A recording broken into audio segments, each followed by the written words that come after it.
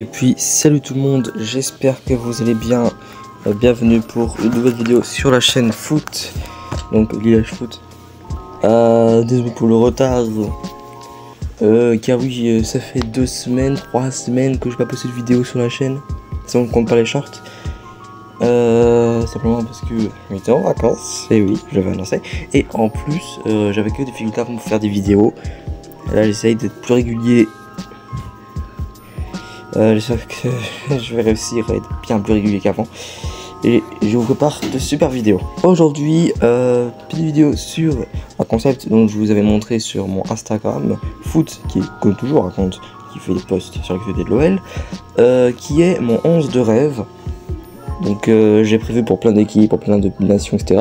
On va commencer avec le premier épisode et si vous aimez, on, on le fera avec d'autres équipes. On commence donc avec l'équipe de France. Euh, donc vous voyez sa miniature avec Zidane et Platini. Vous, vous pensez bien que si ils sont en miniature, ils sont forcément dans l'équipe. Euh, bon, euh, très blabla. On va maintenant euh, commencer après le petit jingle.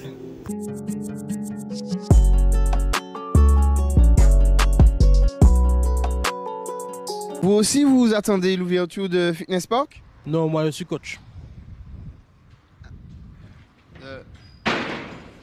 Petit disclaimer avant le début de la vidéo, sachez que tous mes choix sont 100% subjectifs. Donc si ça vous plaît pas, bah dites-moi quel 11 vous aurez proposé en commentaire, dans la bienveillance, sans aucune insulte. On n'est pas là pour se disputer évidemment, on est là pour partager notre réflexion sur ce magnifique sport qu'est le football. Comme vous l'avez vu, on va commencer par le coach parce que oui, même si une équipe a les meilleurs joueurs, le coach est quand même important pour euh, avoir une bonne structure, un bon collectif et gagner des titres. Et le coach que j'ai choisi est évidemment le coach euh, plus emblématique de toute l'histoire de l'équipe de France, Didier Deschamps, bien évidemment. Le mec qui a gagné la Coupe du Monde 2018 avec euh, les Bleus. Il a été en finale de l'Euro 2016, il a perdu au but en or contre le Portugal et en plus il est aussi allé en finale de Coupe du Monde 2022 contre l'Argentine. Ça fait deux. Et en plus, on a aussi gagné euh, la Coupe des Nations avec lui. Donc, c'est de loin le meilleur coach de toute l'histoire des Bleus. Juste euh, devant, enfin, même pas juste devant, mais loin devant Aimé Jacquet qui nous a fait gagner le monde en 98. C'est évident qu'on le mette à ce poste-là. Je pense que tout le monde est d'accord. En plus, c'est l'un des seuls euh, l'un des trois avec euh, Beckenbauer et je sais plus qui d'autre avoir gagné la Coupe du Monde en tant, en tant joueur et coach. C'est quand même un énorme exploit. Il mérite entièrement sa place. Maintenant, passons au gardien.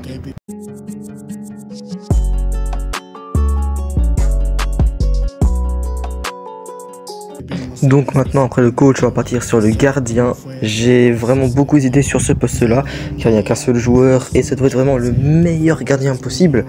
J'hésite entre trois joueurs, euh, donc Loris, euh, Coupet et euh, Barthez. J'ai finalement choisi Lloris. Pourquoi lui? Bah Déjà parce que c'est le joueur qui a été le plus capé de l'histoire des Bleus.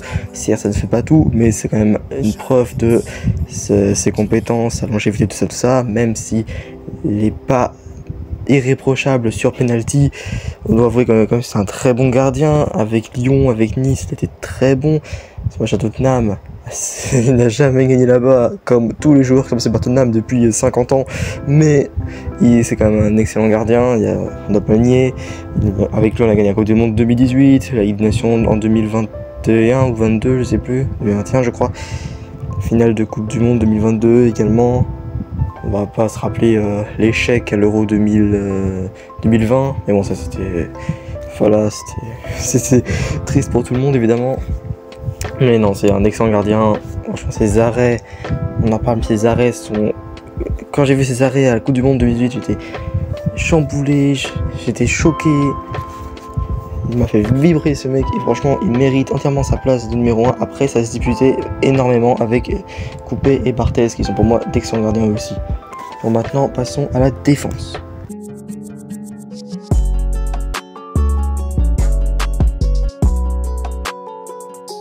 Très bien, nom maintenant de la défense, on commence par la charnière centrale. Euh, défenseur euh, charnière gauche, j'ai mis Marcel Desailly. Pourquoi lui Parce que c'est une légende incontestée de l'équipe de France, champion du monde en 98, gagne l'Euro 2000 également. Ce mec est un pilier, c'est un rock. Il, te déclinque sur le terrain, il fait peur. Légende de Chelsea également. Non, ce mec, franchement, en plus, défenseur français, en fait, dans l'histoire, n'a pas vraiment eu énormément qui était vraiment, vraiment très, très, très, très fort. Lui, j'étais obligé de le mettre. C'est obligé. Et à côté de lui, comme je voulais un peu mixer génération 98 et 2018, j'ai choisi Raphaël Varane. Car déjà, c'était le plus jeune capitaine de l'histoire des Bleus, je crois, à, 19, 21 un truc comme ça. Il a toujours été très solide. On se rappelle évidemment de son but contre l'Uruguay en Coupe du Monde 2018, qui le but du 1-0, je crois. Euh... Non, moi j'ai toujours trouvé ce joueur très très fort au Real Madrid. Il pétait les champion. Bon, c'était pas le seul évidemment.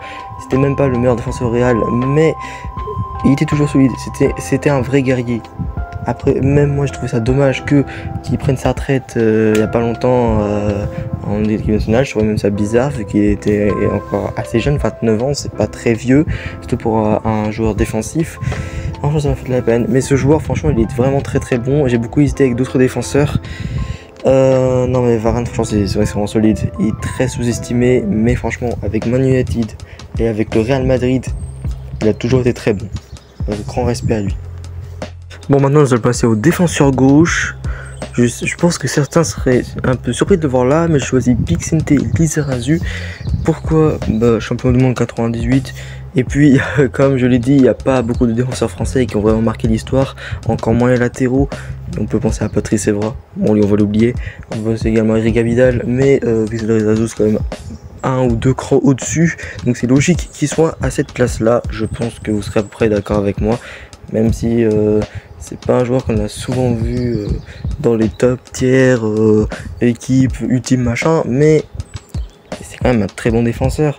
Il faut l'avouer. Avec Bordeaux, il a gagné euh, Europa League, euh, Ligue 1, ça, Bayern, Ligue des Champions et tout. Avec ses clubs, il est très bon. Équipe de France aussi, logique que je le mette là. Et défenseur droit, par contre, là, le choix a été tout de suite évident. J'ai pensé direct à lui, Lilian Thuram. C'était évident. Alors vous allez me dire, oui, c'est un défenseur central, mais il peut également jouer en défenseur droit. Et comme défenseur droit, pareil, il n'y a pas eu énormément de grands joueurs en France qui étaient défenseurs droits à part Pavard, on n'en connaît aucun. Euh, bah, du coup, j'ai mis Thuram. Et c'est pareil. Euh, le mec peut le mettre en DCDD. Il est énorme. Avec Parme, il a fait des trucs de fou. On se rappelle son doublé avec l'équipe de France. Euh, contre la Croatie en demi-finale de Coupe du Monde. Ce, mec est l'un des, hein, l'un des meilleurs joueurs de l'histoire de l'équipe de France en défense, en tout cas, c'est sûr. Tu peux pas mettre quelqu'un d'autre que lui, c'est impossible. Tu mets qui à la place de lui? Qui en DD Vas-y, dis-moi. Voilà, personne, c'est évident. Bon mon gars, toi qui regardes cette vidéo, désolé si je suis un peu approximatif dans mes propos. C'est juste que la vidéo, je la rush un peu, il est vrai. Mais parce que je dois la sortir demain. Donc, si tu veux que je fasse des vidéos beaucoup plus travaillées et que j'arrête de stresser comme ça tout le temps, bah abonne-toi, qu'est-ce que je te dis hein? plus, plus de gens s'abonnent, plus ça me donne du courage et de la volonté pour mieux faire mon travail. c'est un peu, un peu bâtard dire ça, mais c'est la vérité. Donc bah, c'est qu'il reste à faire, abonne-toi et maintenant on passe au milieu de terrain.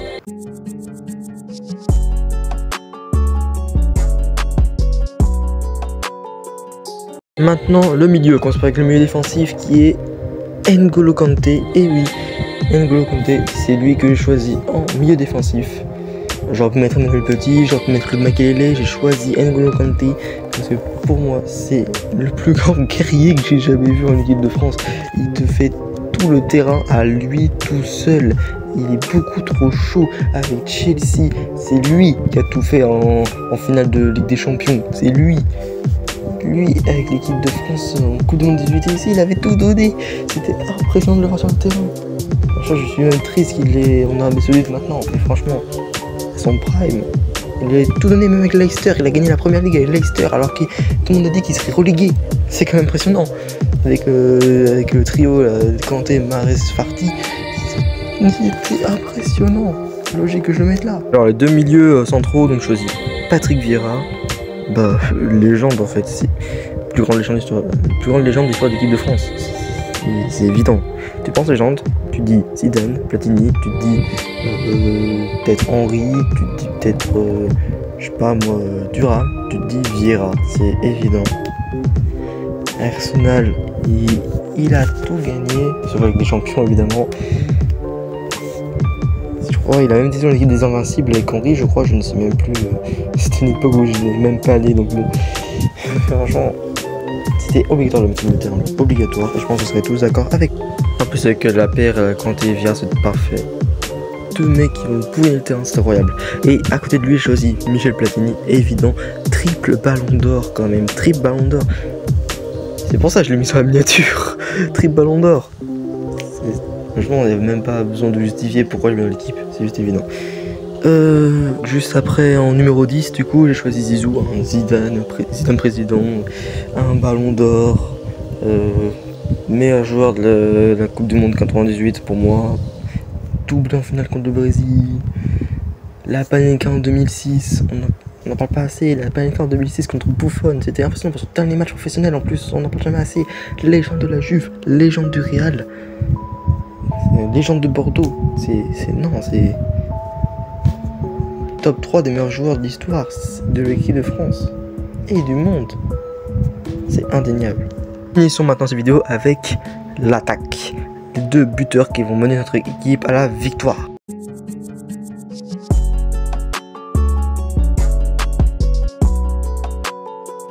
pareil pour l'attaque, ça a été extrêmement dur. J'ai dû, dû réfléchir parce que j'ai dû hésiter entre plein de joueurs. Il y a des Henri, des Cantona, il y a trop de joueurs. Et finalement, j'ai choisi à gauche Kylian Mbappé. Vous allez me dire, oui, mais il est trop jeune, il ne pas être une légende. Certes, il est jeune, il a 24 ans. Et le mec, c'est l'un des meilleurs buteurs de l'histoire des Bleus, alors qu'il a que 24 ans, meilleur buteur de l'histoire du PSG. Bon, ça, ce club n'a pas d'histoire. je vais me faire clasher par tous les Parisiens en commentaire. Mais quand même. Euh... non, je rigole. Euh...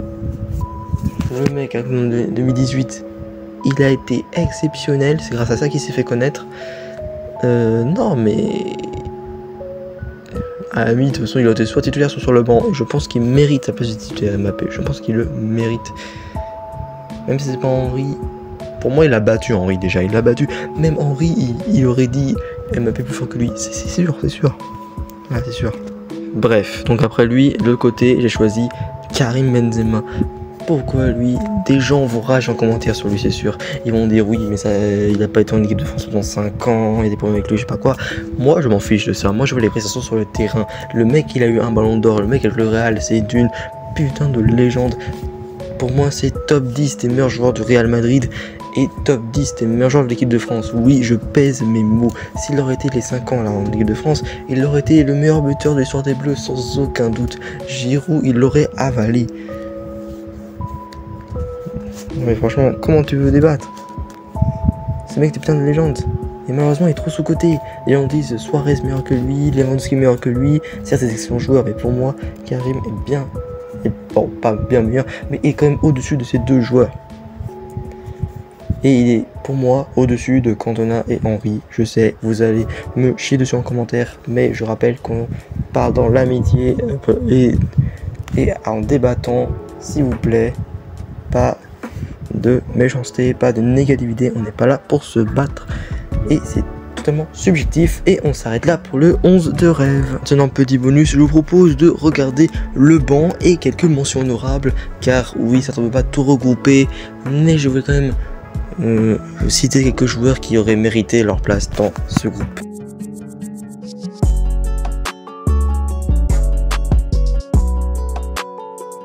Voilà, un peu plus vite sur le banc, euh, j'ai choisi donc euh, en doublure de gardien, j'ai choisi Fabien Barthez. Fallait hésiter entre Barthez et Coupel, j'ai choisi Barthez, alors que je suis lyonnais quand même.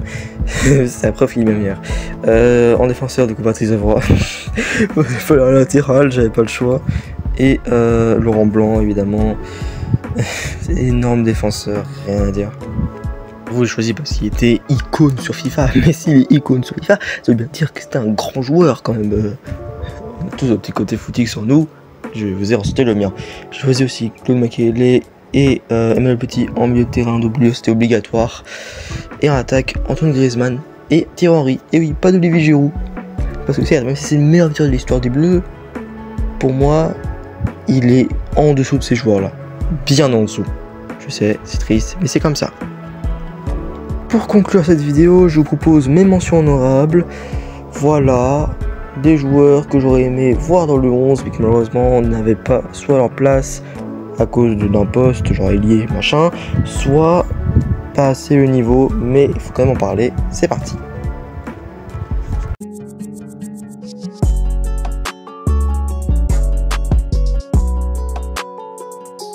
Vous aimez mon setup? Je sais. C'est juste une image sur Google. Bref, maintenant, voici les mentions honorables que j'ai choisi. Donc, j'ai choisi Franck Ribéry, Eric Cantona, David Trezeguet, Grégory Coupet, que vous avez parlé au début de vidéo, Marius Trésor, et oui, c'est pas. Euh, on le voit pas très souvent celui-là. Et ceux qui savent pas c'est qui Marius, Trésor, c'était une légende dans les années 50-60. Vraiment l'une des. L'une des légendes d'équipe de France avec Raymond Coppa et euh, Juste Fontaine, c'est des putos. Je les ai pas mis. Euh, c'est vrai que je les avais oubliés ceux-là, même s'ils sont très vieux. Peu de personnes euh, les connaissent malheureusement. À part vraiment les vrais fans de foot, et ça, ça me fait très plaisir que des fans de foot connaissent vraiment de vieux joueurs. Idéal pour un latéral. Robert Pires, évidemment, on parle jamais de lui, c'est dommage. Olivier Giroud, quand même, faut pas abuser. Blaise Matuidi. Paul Pogba et Samuel Umtiti. J'ai pas fait attention, mais ça fait 11 joueurs, ce qui veut dire qu'on pourrait pas seulement faire une équipe avec eux, genre l'équipe 1 et l'équipe 2. C'est quand même assez drôle. Bon bah voilà, c'était une petite mention honorable et mon 11 de rêve de l'équipe de France. J'espère que vous aimé cette vidéo. C'est vraiment désolé que je suis très nul en argumentation. Base, je vais juste vous poser une équipe. Je me suis dit, si je pose juste une équipe, euh, vous allez me dire, mais pourquoi tu choisis ici, pourquoi tu choisis ça? Je me suis dit pourquoi j'ai choisi, mais après quand je suis très nul pour argumenter, bah, ça, fait du caca, ça fait du caca, je vous l'avoue ça fait du caca. Mais c'est pas grave parce que ces vidéos c'est juste du chill, c'est juste du fun avant de sortir de vrais gros concepts. Voilà. Évidemment, débattez en commentaire, mettez vos 11 rêves en commentaire, je les lirai et je débattrai avec vous. Merci d'avoir regardé la vidéo. N'oubliez pas de liker, de vous abonner. On, a, on rush les 100 abonnés avant 2024. Merci tout le monde. Allez, ciao